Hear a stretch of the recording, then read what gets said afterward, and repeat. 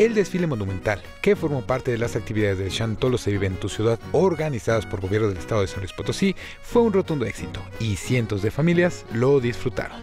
Las comparsas y grupos de personas disfrazadas se dieron cita en el Parque Juan H. Sánchez o Parque de Morales y recorrieron la totalidad de la Avenida Carranza hasta llegar a la Plaza de los Fundadores.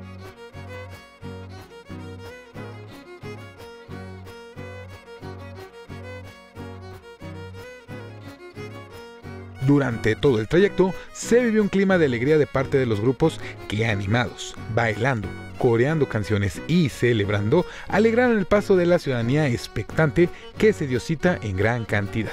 Señalar que el trabajo coordinado entre las autoridades del Estado y la capital resultó en un operativo de seguridad vial que fue oportuno para la población que se dio cita desde temprana hora.